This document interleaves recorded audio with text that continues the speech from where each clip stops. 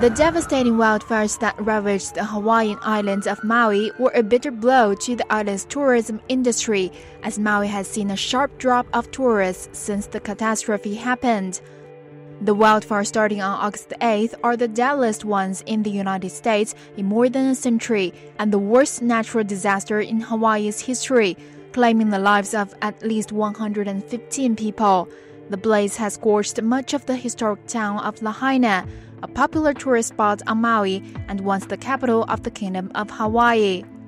Officials in Hawaii have urged tourists to avoid traveling to Maui in the wake of the disaster, as many hotel rooms were secured to house thousands of displaced residents and first responders.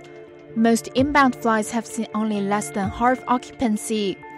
According to report, prior to August 8th, there were 6,000 to 7,500 domestic arrivals daily to the second largest island in the Hawaiian archipelago.